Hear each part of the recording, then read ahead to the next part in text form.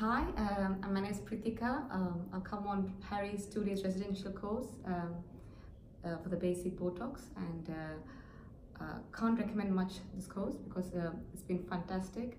Uh, the way the course was taken, it was very paced, so nothing is rushed through or anything like that.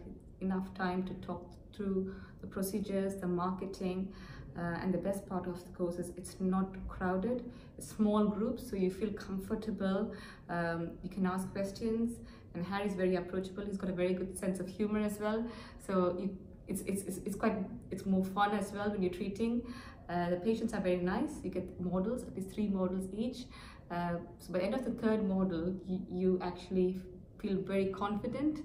Um, I was recommended by my friend, uh, and I can't thank her enough for that. Uh, and I am, and I think you will not go wrong. Um, or it's a best, it's a good opportunity to learn uh, facial aesthetics, uh, and I think it's important. Thanks.